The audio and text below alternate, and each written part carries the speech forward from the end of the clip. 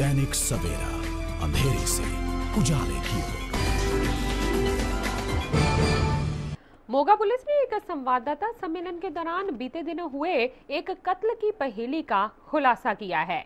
Police ने बताया कि गाँव वड़ा के रहने वाले बेअंत सिंह नामक व्यक्ति पर कुछ अज्ञात लोगों ने हमला कर उसे गोलियों से छलनी कर दिया था, जिसके बाद में अस्पताल में बेअंत सिंह की इलाज के दौरान मौत हो गई थी। इस मामले की जाँच करते हुए पुलिस ने पता लगाया कि सिमर सिंह सिम्मा की शादी की बात मृतक बेअंत सिंह की भांजी के साथ चल रही थी, मगर लड़की वालों की तरफ़ से लड़का कम पढ़ा लिखा होने व गलत चाल चलन के कारण रिश्ता ठुकरा दिया गया था, जिससे खफा सिमर सिंह ने अपने दो साथियों के साथ मिलकर बेअंत सिंह पर हमला कर उसे मौत के घाट उतार दिया और मौके से फरार हो गया। इस मामले में पुलिस ने सिमर का साथ देने वाले गुरप्रीत सिंह व दलजिंदर सिंह को गिरफ़्तार कर लिया है, जबकि हत्या का मुख्य दोषी सिमर सिंह सिम्मा पुलिस की गिरफ्त से बाहर बताया जा रहा है। पुलिस द्वारा सिमर की तलाश में छापेमारी की जा रही है। पिछले दिनों आपके नोटिस में आया होगा कि एक मुकदमा नंबर अठासी दर्ज हुआ था।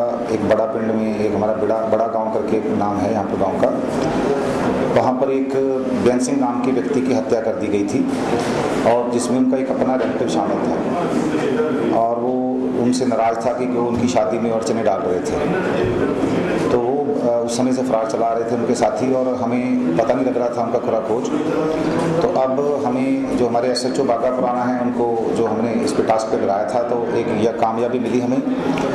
और दो उनके जो साथी साथ में वारदात पे गए थे, जिन्होंने वो पूरी रैकी करी तो उस बंदे के बारे में बताया कि निकल रहा है यहाँ से और उसको जब निकलेगा तो मार दिया जाए। वो दोनों हमने पकड़ लिए।